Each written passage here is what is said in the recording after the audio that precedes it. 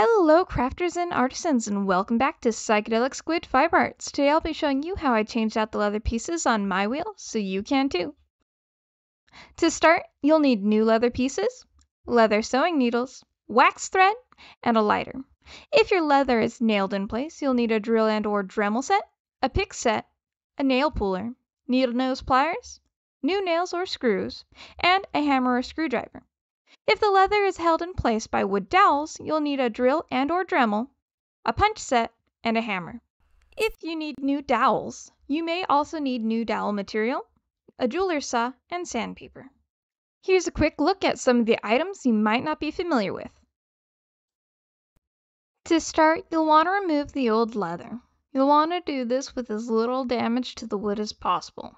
You may need to try to remove the nails from multiple different angles to get them out entirely.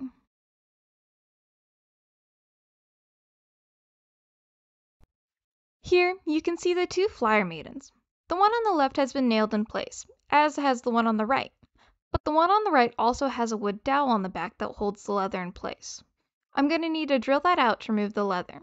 As for the one on the left, I'm going to drill out the nail and replace it with a wood dowel so I can change out the leather easier in the future. This is me drilling out the nail on the far maiden. I'm going to go through the head of the nail just enough to create a spot that I can hook with my pick set so I can pry the nail out.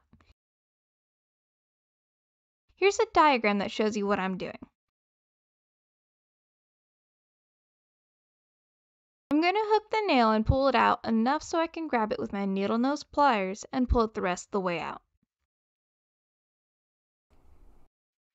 On the other side, you can see I drilled out the nail with the Dremel so I can put a dowel in its place. If your leather is held in place, you'll want to use a punch set and a hammer to remove the wood dowels. Once you do, the leather should just pull straight out. Here are the two old leather pieces that I am replacing. Now, replacing the leather on the far side of the maiden, you can see this piece is shaped to fit through the wood maiden and then be held in place by a pointed wood dowel. You can see what the dowel looks like here. I'm just going to pressure fit it into place by hand, then follow up with a hammer to make sure the leather is secure. When I'm doing this, I'm going to push the leather as far back into the wood as I can so I don't accidentally push it out with the dowel that I'm trying to pressure fit in there. Once I do that, I'm going to use my jeweler's saw to cut down the wood dowel so it's flat and then I'm going to follow up with some 220 grit sandpaper. And there you go, that side is finished.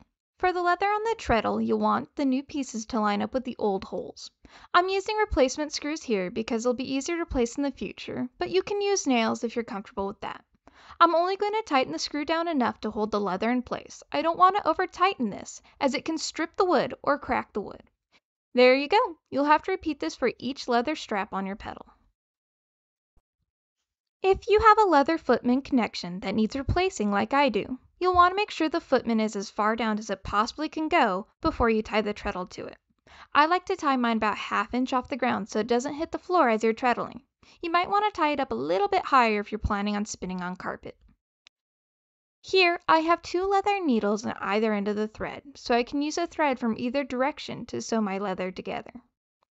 Each end of the leather has three holes on it, but I'm only going to be overlapping the center two, so the leather ends are sewn down with the third hole. Here's my diagram for how I'm looping the thread through the leather to secure it. Once you've sewn it up, I use a simple knot, cut the end short, and then I melt the wax thread with my lighter. I also use the side of my lighter to flatten down the melted ends to make it nice and flush.